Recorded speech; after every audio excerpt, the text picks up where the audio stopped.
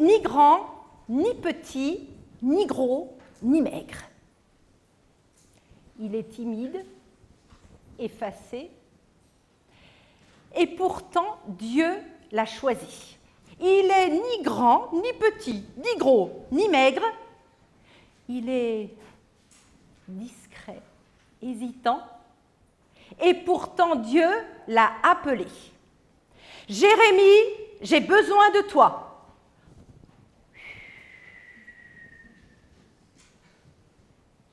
Jérémie, va, va porter ma parole à mon peuple, le peuple d'Israël.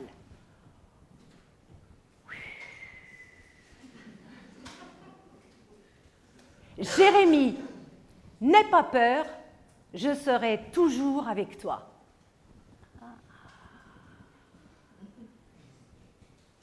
Et Jérémie porte la parole. C'est que depuis qu'il est tout petit, il a une relation, particulière avec le Seigneur. Il a l'habitude d'écouter ce que le Seigneur lui dit. Et Jérémie entend ce que le Seigneur lui dit. Et Jérémie fait ce que le Seigneur lui demande.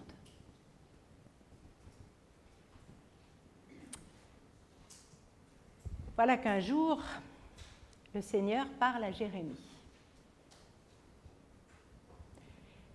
Et il lui demande d'acheter une belle ceinture de lin et de la porter.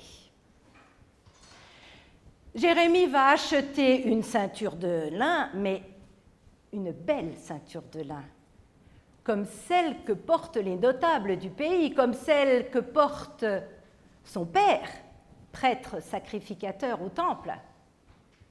Et cette ceinture-là, il se l'enveloppe autour de ses reins. Il fait trois tours soigneusement et la noue solidement. Comme le Seigneur s'est attaché le peuple d'Israël avec tendresse et fermeté, comme une embrassade chaleureuse jusqu'à sentir battre le cœur qui s'accélère à la joie de l'étreinte. Et Jérémie porte la ceinture.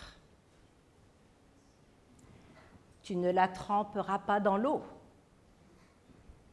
Jérémie ne l'a pas trempée dans l'eau. Il porte la ceinture.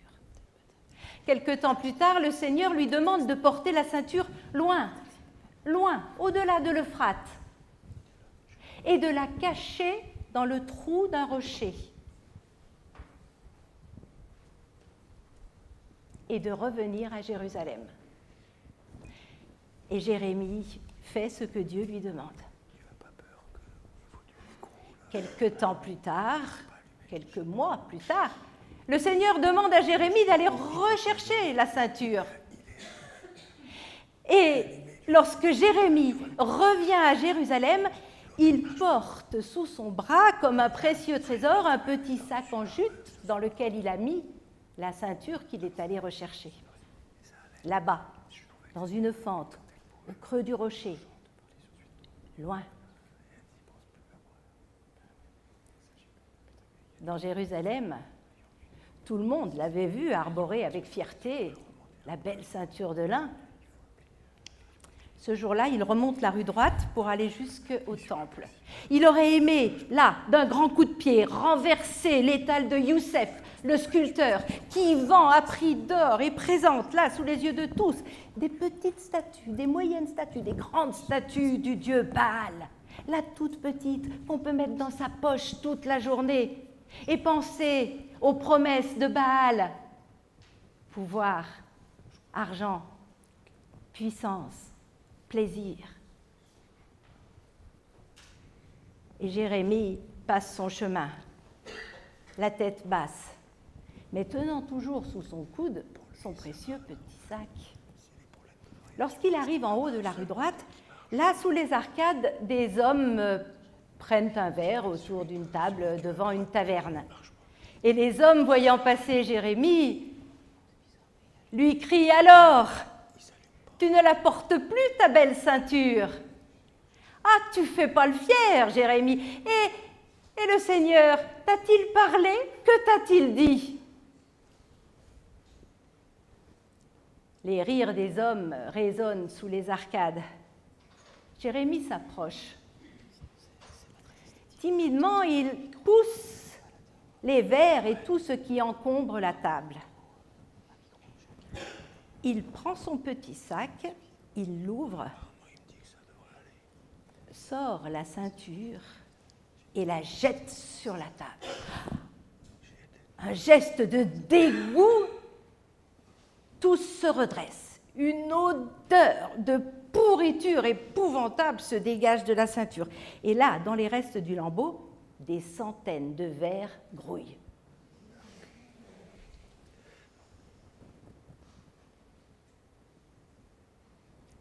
Que faites-vous de la relation d'amour que Dieu a tissée avec son peuple, avec vous? Avec cette ceinture, j'ai fait tout ce qu'il ne fallait pas faire. Je l'ai achetée. Je ne l'ai pas lavée, jamais purifiée. Je l'ai portée là-bas, cachée, loin, et je l'ai oubliée. Les hommes se taisent. Ont-ils compris le sens de l'expérience que Dieu a essayé de vivre avec Jérémie? L'histoire le dira, peut-être. Jérémie a remis les restes de la ceinture dans son petit sac qu'il a reglissé sous son bras.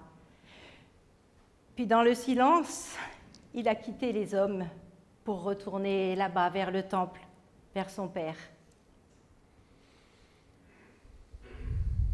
Ce qui est sûr, c'est que Jérémie, il n'est ni grand, ni petit, ni gros, ni maigre, mais il porte la parole.